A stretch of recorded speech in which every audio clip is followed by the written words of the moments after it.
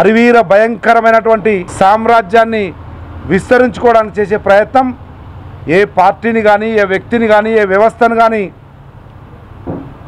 స్వేచ్ఛగా పనిచేయకుండా అనగదొక్కుతూ పోలీసు వ్యవస్థను వారి చేతిలో ఉన్న అన్ని వ్యవస్థలను వాడుకొని ప్రశ్నించే గొంతులను అనగదొక్కడానికి చేస్తున్నటువంటి ప్రయత్నంలో ఒక విచిత్రమైనటువంటి పరిస్థితి నెలకొన్నది మహబూబ్నగర్ నియోజకవర్గంలో. ఇటువంటి పరిస్థితులలో ఆనాడు తెలుగుదేశం పార్టీ ఈ నియోజకవర్గ ఇన్ఛార్జిగా ఉండి కాంగ్రెస్ పార్టీ సెక్యులర్ భావజాలం నచ్చి మా కాంగ్రెస్ పార్టీలోకి వచ్చి కాంగ్రెస్ పార్టీలో పనిచేసినటువంటి న్యాయవాది సౌమ్యుడు అన్ని వర్గాలతో కలిసిమెలిసి ఉండేటువంటి నైజం ఎన్పి వెంకటేష్ గారిది. ఆ రోజు కాంగ్రెస్ పార్టీలో పనిచేసినారు. రాష్ట్ర కాంగ్రెస్ కమిటీ కార్యదర్శిగా పనిచేసి అనేక నియోజకవర్గాల్లో ఇన్ఛార్జిగా కూడా వారి సేవలు అందించినారు. కానీ అనుకోని పరిస్థితులలో భారతీయ జనతా పార్టీలోకి పోయి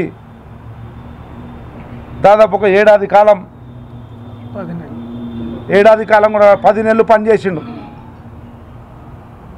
సరాసరి పది నెలల్లోనే ఒక న్యాయవాదిగా అనుభవజ్ఞుడైనటువంటి ఒక రాజకీయ నాయకుడిగా మహబూబ్నగర్ నియోజకవర్గంలో ఉన్నటువంటి పరిపూర్ణమైనటువంటి అవగాహనతోటి ఒక వాస్తవాన్ని తెలుసుకున్నారు. మహబూబ్నగర్లో ఈ అరాచక పరిపాలన పోవాలంటే ప్రజాస్వామ్యయుత స్వేచ్ఛాయుత వాతావరణం రావాలంటే ఈ తోడు దొంగలు టీఆర్ఎస్ బీజేపీ కలిసి లోపాయికారుగా ఆడుతున్న నాటకం నుంచి బయటకు వచ్చి పోరాడాల్సిన అవసరం ఉంది అన్న వాస్తవాన్ని గ్రహించుండు ఎన్పి వెంకటేశ్వర గారు. అందుకే అఖిల భారత కాంగ్రెస్ కమిటీ తరపున స్వయంగా నేను మా పిసిసి అధ్యక్షులు రేవంత్ రెడ్డి గారి ఆదేశం మేరకు ఉటా ఉటిన నా కార్యక్రమాలు అలంపూర్లో ఉన్నప్పటికీ అప్పటికప్పుడు రద్దు చేసుకొని రావడం జరిగింది. చాలా సంతోషం. తెలంగాణ రాష్ట్రంలో భారతీయ జనతా పార్టీ మరియు బీఆర్ఎస్ రెండు కలిసి లోపాయికారి ఒప్పందంతో దాగుడు మూతలాడుతూ ఉన్నాయి.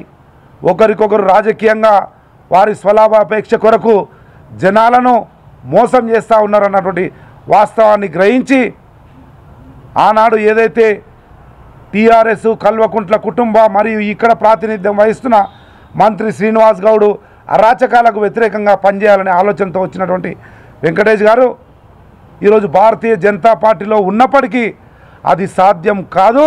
భారతీయ జనతా పార్టీ టీఆర్ఎస్ బీఆర్ఎస్ ఒక్కటే అన్నది గ్రహించినాడు కనుక యావత్ తెలంగాణ రాష్ట్రంలో కానీ మహబూబ్నగర్ నియోజకవర్గంలో కానీ వారు ఆ మదన పడుతున్నటువంటి వాస్తవాన్ని గ్రహించిన ఒక సన్నిహితుడిగా దాదాపు మూడు దశాబ్దాల పాటు అన్యోన్యంగా ఉన్నటువంటి ఒక మంచి అన్నయ్యగా నాకున్నటువంటి అనుబంధంతో వారికి ఉన్న పరిస్థితులను వివరించి విజ్ఞప్తి చేయడం జరిగింది.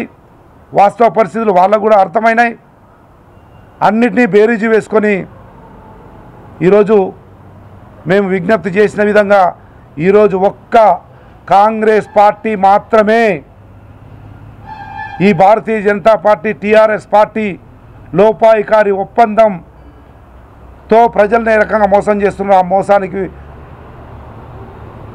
విరుద్ధంగా నిలబడి మళ్ళీ ప్రజాస్వామ్య వాతావరణం నెలకొల్పాలంటే కాంగ్రెస్ పార్టీ ఒక్కటే మార్గము.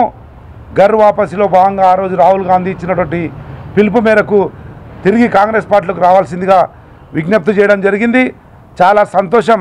వారిని కూడా హృదయపూర్వకంగా అఖిల భారత కాంగ్రెస్ కమిటీ తరఫున పిసిసి అధ్యక్షులు రేవంత్ రెడ్డి గారి తరఫున కృతజ్ఞతలు తెలుపుతా ఉన్నా అభినందిస్తూ ఉన్నా మా విజ్ఞప్తిని మన్నించి వారు మాతో పాటు చేయగలిపి ఇక్కడ ఉన్నటువంటి పరిస్థితులకు వ్యతిరేకంగా గల్లం విప్పుతా అడుగులో అడుగేస్తా ఇక్కడ మార్పు రావడానికి ఏ ఇసుకంత రాయి ఇసుక రాయంత నా కాంట్రిబ్యూషన్ ఉన్నా నా చేదోడున్నా నేను పనిచేస్తా అని చెప్పి వారు ముందుకు వచ్చినందుకు వారికి హృదయపూర్వకంగా ధన్యవాదాలు కృతజ్ఞతలు తెలియజేస్తూ పిసిసి అధ్యక్షుల వారికి కూడా ఈ విషయాన్ని తెలియజేయడం జరిగింది. పిసిసి అధ్యక్షుల వారు కూడా చాలా సంతోషాన్ని వ్యక్తం చేసినారు.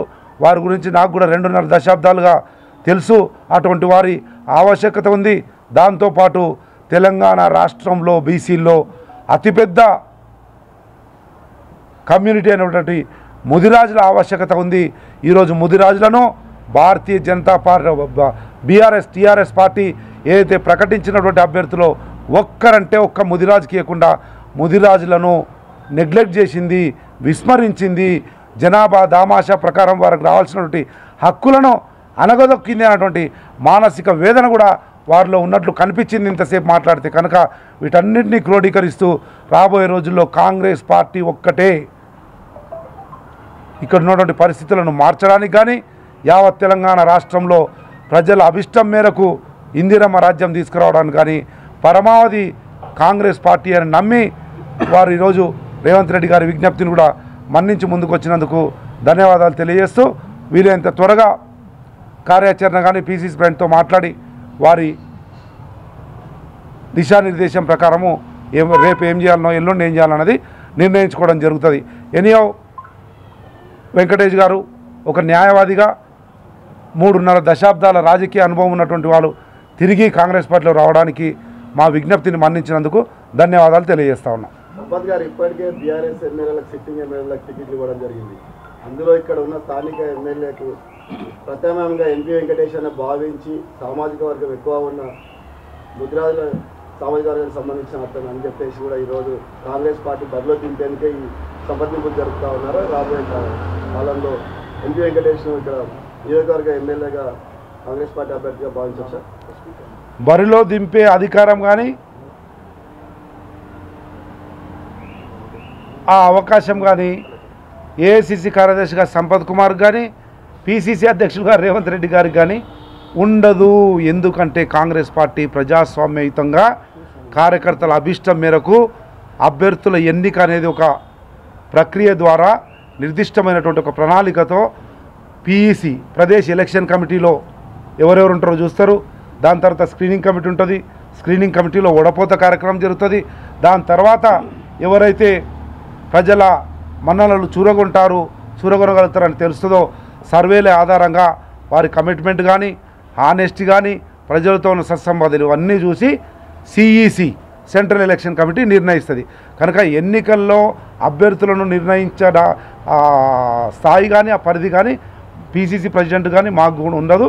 సిఈసిలో ఉంటుంది. కానీ ముమ్మాటికి ఎక్కడైతే సామాజిక కోణము సామాజిక సమతుల్యత లోపించిందో టీఆర్ఎస్ పార్టీలో అది లోపించకుండా చూసే బాధ్యత పీఈసీ సభ్యుడిగా కానీ అఖిల భారత కాంగ్రెస్ కమిటీ కార్యదర్శిగా కానీ నేను తీసుకుంటా సమ సమతుల్యతను పాటించడానికి.